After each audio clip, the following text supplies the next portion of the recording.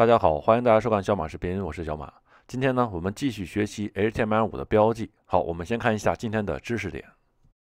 今天第一个标记呢是 EM，它呢表示强调文字，用于强调文字的内容部分。第二个呢是 Strong 标记，它呢用于表示重要内容的部分。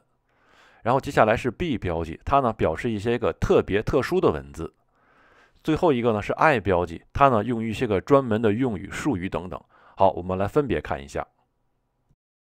第一个是 EM 标记，EM 标记呢，它表示强调文字的内容，在文章嗯需要强调一些文字时候呢使用，在浏览器中一般表示为斜体字。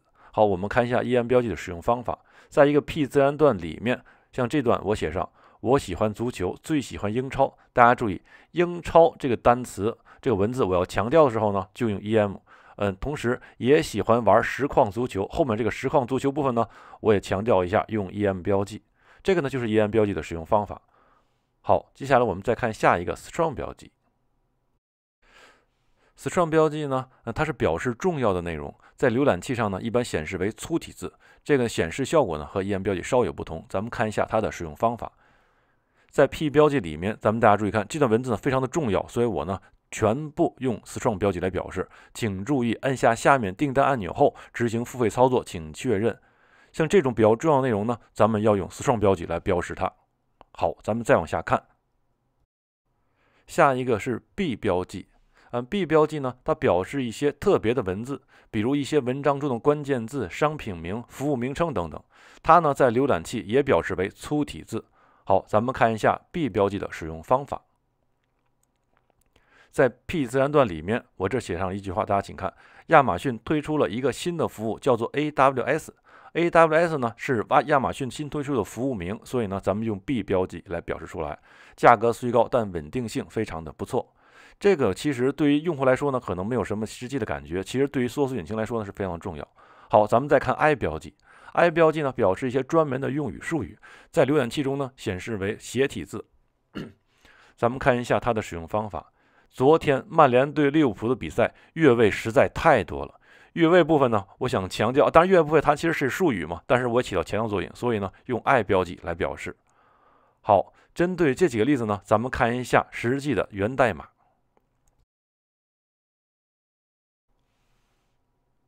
哦，这个呢是我提前给大家准备的源代码部分，它是标准的 HTML5 的文档，咱们具体来看一下。在主内容区域，我把刚刚四个标记的使用的方法呢都已经贴到这里了，咱们看有 EM，有 Strong。还有下面的 B 标记以及 I 标记。好，咱们运行这段代码，看一下实际的显示效果。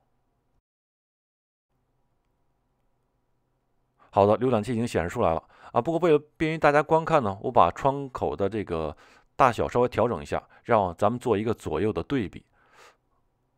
啊，这个 Chrome 好像宽度有点大啊，我把 Chrome 再稍微调窄一些。好，然后我把我的这个编辑器再稍微调宽一下。好，咱们呢一一对一的看一下。首先是我喜欢足球，最喜欢英超。咱们大家注意看，英超这两个字呢被斜体字显示出来了。然后的实况足球部分呢也是斜体字，这个呢是 EM 标记呢产生的效果。接下来 Strong 这个使用方法，请注意，按下下面定的按钮后呢会执行复位操作，非常的重要。所以呢，咱们整体这个段文字呢用 Strong 来表示。接下来的亚马逊推出了一个新的云服务，云服务也是亚马逊的一个专门的呃服务，或者叫做术语呢，咱们用 B 来表示。接下来的 AWS 是亚马逊的服务名，咱们呢用 B 来表示，在浏览器呢显示为粗体字。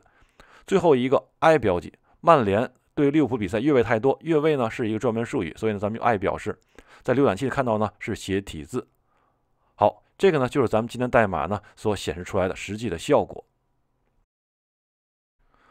好的，以上就是今天我要给大家分享的内容。不知道您呢听明白没有？也欢迎您留言和我讨论。好的，今天的视频呢就给大家分享到这里，谢谢您的观看，咱们下次再见，拜拜。